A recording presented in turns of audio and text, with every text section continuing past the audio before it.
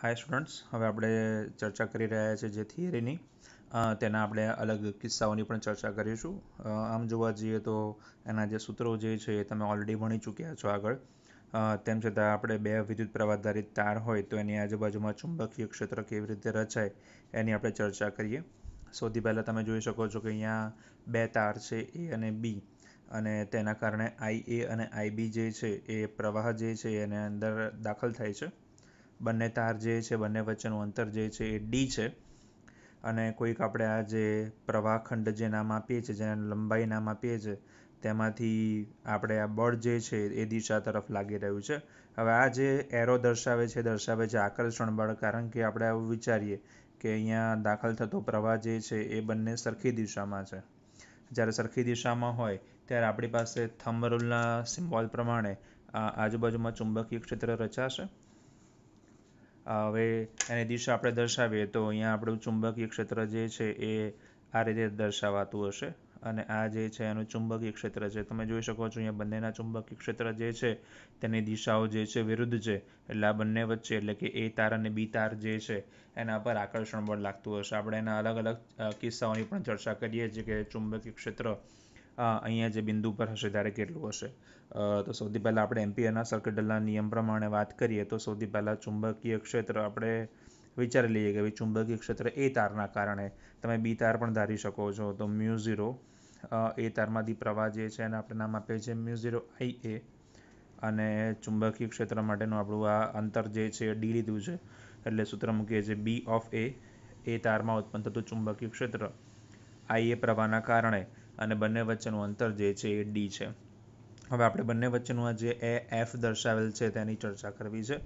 તો સૌથી પહેલાં આપણે જેથી શરૂઆત કરતા હતા તે સૂત્રનો ઉપયોગ કરીએ. Q V D into B sine theta જેને ભૂતકાળમાં આપણે લોકો કહેતા હતા કે ભાઈ F is equals to Q into drift વેગ ગુણ્યા ચુંબકીય ક્ષેત્ર. જ્યાં બંને જે છે એમાં કિંમત મૂકીએ છીએ theta equals to pi by two તો સૂત્ર આપણને મળે છે F is equals to QVDB હવે આ જે પ્રવાહમાંથી પસાર થઈ અથવા તો જે વિદ્યુત પ્રવાહ ધારિત તારમાંથી પસંદ થઈ રહ્યો છે અને જેટલા આયનો પસાર થાય છે, તો આવા એન આયનો અથવા તો એન વિદ્યુતભાર, જો એલ લંબાઈમાંથી અને એ ક્ષેત્રફળમાંથી પસાર થાય તો આપણું સૂત્ર જે છે, હવે આવું બને છે. F equals to Q VDB N આયનો એલ લંબાઈમાંથી અને એ જેટલા ક્ષેત્રફળમાંથી પસાર થાય છે.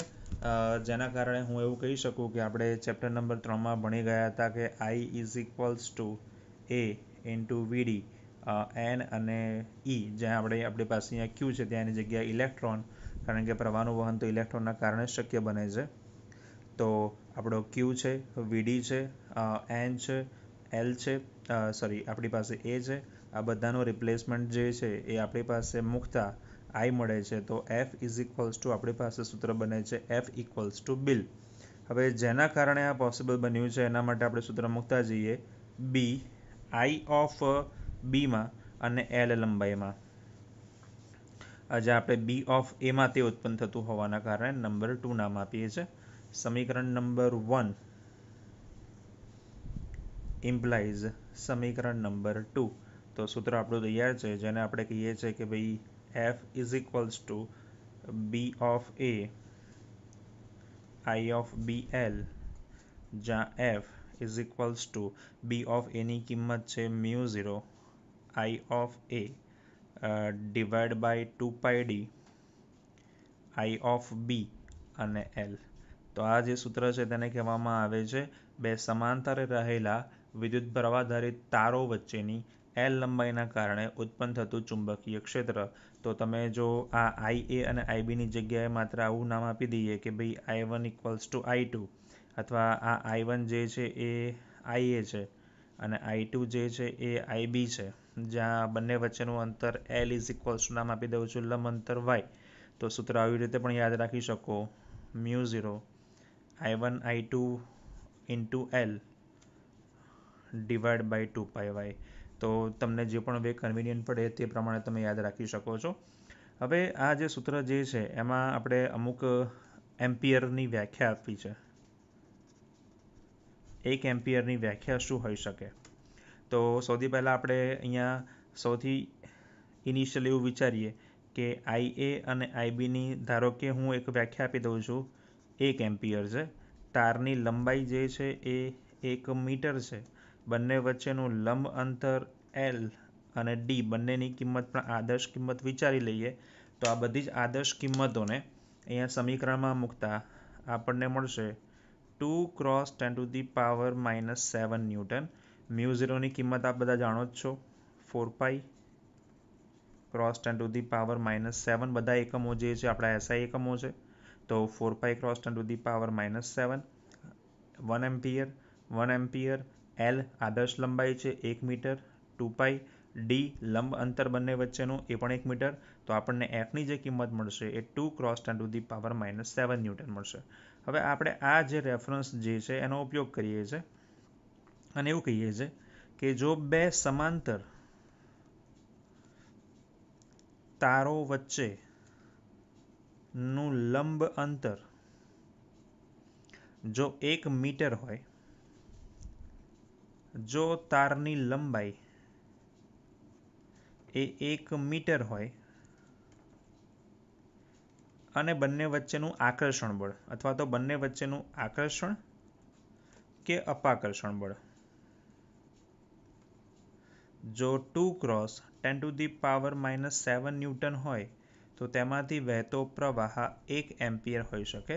તો ઘણી વખત પ્રેક્ટિકલી સ્કૂલમાં એમસીક્યુ તરીકે આ ડેટા જે છે પૂછવામાં આવે છે કે એક એમ્પિયરની વ્યાખ્યા આપો. તો તે સમયે એફની કિંમત આપણે લઈએ છીએ two cross ten to the power minus seven જે કોઈ આદર્શ કિંમત નથી, પરંતુ કિંમતો મૂક્યા પછી આપણને મળતી કિંમત છે. તો વાયસા વર્ષા એટલે કે ઊંધી રીતે આપણે સાબિત કર્યું કે બે સમાંતર તાર વચ્ચેનું લંબ અંતર એટલે કે ડી જે છે એ આપણું એક મીટર હોય.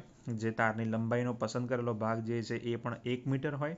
અહીંયાથી લાગતું બળ એ દ્વારા બી ઉપર અથવા બી દ્વારા એ ઉપર એ two cross ten to the power minus seven newton હોય. ત્યારે આપણે કહી શકીએ કે તેમાંથી ઉત્પન્ન થતો પ્રવાહ જે છે એ એક એમ્પિયર હોઈ શકે. તો વિદ્યાર્થી મિત્રો, આપણે જેની ચર્ચા કરવા જઈ રહ્યા છે કે જેને આપણે કહીએ છીએ બે સમાંતર તાર, એના માટેના અલગ અલગ કિસ્સાઓ. તો બે સમાંતર તાર માટેના ચુંબકીય ક્ષેત્રના કિસ્સાઓ. આપણે વાત તો કરી ચૂક્યા કે ભાઈ બે જે સમાંતર તાર હશે ત્યારે બંને વચ્ચે કયા પ્રકારનું બળ, આકર્ષણ બળ કે અપાકર્ષણ બળ લાગતું હશે? તો કેવા પ્રકારનું લાગતું હશે? તો સૌથી પહેલાં આપણે એવું વિચાર લઈએ છીએ કે અહીંયા આપણી પાસે બંને તાર છે અને બંને પ્રવાહ તારની જે છે એ દિશા સમાન છે. અને આ જે છે એનું મધ્ય બિંદુ છે, તાર વચ્ચેનું લંબ અંતર જે છે, બે વચ્ચેનું આર છે, તો મધ્ય બિંદુઓથી તેમના અંતર ઓબ્વિયસલી આપણને ખબર છે આર બાય ટુ જ હોઈ શકે. તો આપણે નામ આપી દઈએ. B one is equals to mu zero I upon two pi અહીંયા નામ આપી દઈએ છે આર. અહીંયા અંતર જે છે એ આર બાય ટુ નામ આપી દઈએ છે. પહેલો તાર છે. બીજા તાર માટે આપી દઈએ. Mu zero I upon two pi R by two. અહીંયા જો સૂત્રની વાત કરીએ તો આપણે સૂત્ર જે છે આનો ઉપયોગ કર્યો છે. Mu zero I upon two pi D અથવા ટુ પાઈ વાય. જેને તમે આવું પણ લખી શકો છો. Mu zero into two I upon four pi D. ટૂંકમાં આ અથવા આ બેમાંથી તમે કોઈ પણ સૂત્રનો ઉપયોગ કરી શકો છો. હવે તમે યાદ હશે કે ચેપ્ટર નંબર વનમાં આપણે ચર્ચા કરતા હતા કે જ્યારે જમણી તરફ ચુંબકીય ક્ષેત્ર જાય ત્યારે આપણે ધન લઈએ છીએ ડાબી બાજુ આવે તેને ઋણ લઈએ છીએ એટલે આપણને અહીંયા સૂત્ર મળશે mu zero into two I divide by two pi R. Mu zero into two I upon two pi R. માટે B net cool is equals to B one plus B two is equals to B one minus B બંનેની કિંમત મૂકતા આપણને મળે છે net ચુંબકીય ક્ષેત્ર, એને કહેવામાં આવે છે શૂન્ય. તો આપણે એવું કહી શકીએ કે બંને સમાન તાર હોય, જેમાંથી પ્રવાહ જે છે એનું મૂલ્ય સમાન હોય, અને તેના કેન્દ્ર પર બંનેના જો મધ્ય બિંદુ પર, બિંદુ પી ઉપર ચુંબકીય ક્ષેત્ર જે છે એ શૂન્ય થઈ શકે. હવે આ જ કન્સ્ટ્રક્શન રાખીએ આપણે. અને અલગ બિંદુ દર્શાવીએ છીએ કે જ્યાં આપણો પ્રવાહ જે છે એ સમાન છે, બિંદુ પી જે છે અહીંયા છે અને બિંદુ ક્યુ છે એ અહીંયા છે. આ અંતર જે છે આપણી પાસે છે એક્સ અને આ અંતર જે છે આપણી પાસે છે આર તો ફરી એકવાર આપણે ચુંબકીય ક્ષેત્રની વાત કરીએ, તો ક્યુ બિંદુએ વાત કરીએ છીએ તો આપણી પાસે સૌથી પહેલાં મળશે B one is equals to mu zero. અહીંયા આગળ હું ટુ આઈના સૂત્રનો ઉપયોગ કરું, તો mu zero two I four pi X. આપણે આની વાત કરી રહ્યા છે, તો એક્સ પ્લસ આર. અને બી ટુ તારથી વાત કરીએ, mu zero I upon four pi અંતર છે એક્સ.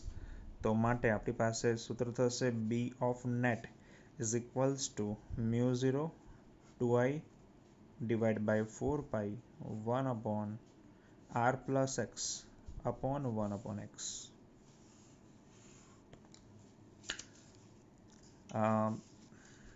આ જ રીતે હું કોઈ ત્રીજું કન્સિડરેશન તમારી સામે મૂકું છું. પરંતુ અહીંયા મધ્યબિંદુ નથી. એટલે કે વિદ્યુત પ્રવાહધારી તાર જે છે, એમાંથી પ્રવાહ જે છે, સમાન દિશામાં છે.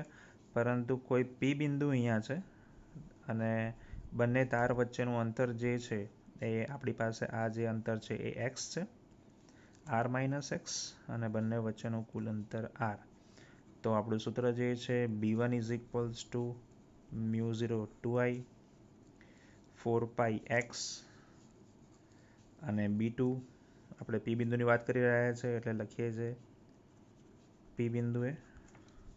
તો બી ટુનું સૂત્ર બનશે આપણી પાસે mu zero two I divide by four pi R minus X એટલે સૂત્ર બનશે B of net B one plus B two પણ ફરીથી બી વન જમણી તરફ છે બી ટુ ડાબી તરફ છે, એટલે માઇનસ તો સૂત્ર તૈયાર છે B of net is equals to mu zero two I divide by four pi common one upon X minus one upon R minus X તો મિત્રો, આ સૂત્ર તૈયાર છે આપણી પાસે બી ઓફ નેટનું અને એના જેવું જ આપણે એક ચોથું સૂત્ર મેળવી લઈએ છીએ કે જ્યાં પ્રવાહ જે છે, અત્યાર સુધી આપણે પ્રવાહ જે છે, આ કોન્સેપ્ટમાં આપણે બધી જગ્યાએ પ્રવાહ જે છે, સરખી દિશામાં ધાર્યો હતો.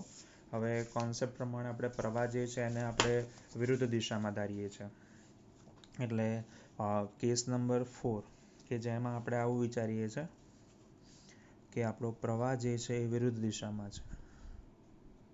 એટલે આપણે અહીંયા નામ આપી દઈએ. પ્રવાહ જે છે સરખો છે, પણ વિરુદ્ધ દિશામાં. તો મેન્શન કરીએ. પ્રવાહ વિરુદ્ધ દિશામાં. અને મધ્ય બિંદુએ.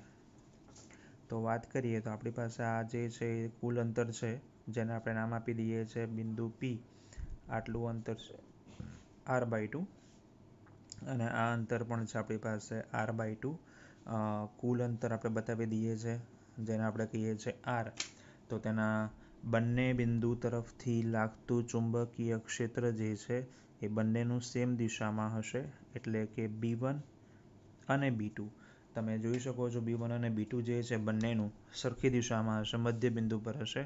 એટલે આપણે લખી શકીએ છીએ B one is equals to mu zero two I four pi R by two એટલે આપણને મળશે mu zero into four I.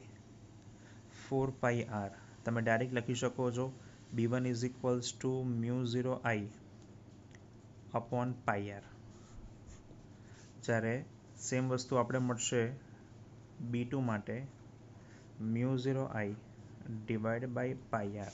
આમ જોવા જઈએ તો આપણે આગળ વાત કરતા હતા તો B one plus B two પ્રમાણે જો પ્રવાહ સરખી દિશામાં હોત તો B one minus B two પણ લખવું પડે આપણે, કારણ કે દિશા તો વિરુદ્ધ જ છે. પરંતુ પ્રવાહની દિશાઓ વિરુદ્ધ હોવાના કારણે અહીંયા B one minus minus B two એટલે કે B one plus B two થશે. માટે આપણી પાસે બી ઓફ નેટ એટલે કહેવામાં આવે છે B one plus B two તો B of net is equals to mu zero I. Pi R. Again mu zero I. Pi R માટે આપણને સૂત્ર મળશે B of net is equals to બે વખત mu zero I upon pi R. તો વિદ્યાર્થી મિત્રો, અહીંયા જે બી ઓફ નેટ થશે, તે આપણા ઓરિજિનલ જે સૂત્ર આપણને મળતું હતું, કે જ્યાં આપણે લખતા હતા કે કેન્દ્ર પર પ્રવાહ જે છે એ સમાન દિશામાં હોવાના કારણે ચુંબકીય ક્ષેત્ર શૂન્ય મળે છે, તેવું અહીંયા નહીં થાય. અહીંયા આપણી પાસે પ્રવાહ જે છે વિરુદ્ધ દિશામાં હોવાના કારણે ચુંબકીય ક્ષેત્ર મળશે two mu zero I upon pi R. So, આ કોન્સેપ્ટ આ થિયરીમાં તમે શીખ્યા કે આપણું ચુંબકીય ક્ષેત્ર જે છે એમાં પ્રવાહની દિશા જે છે એ બદલતા ચુંબકીય ક્ષેત્રની દિશા અને તેના નેટમાં પણ ફેરફાર થાય છે. Thank you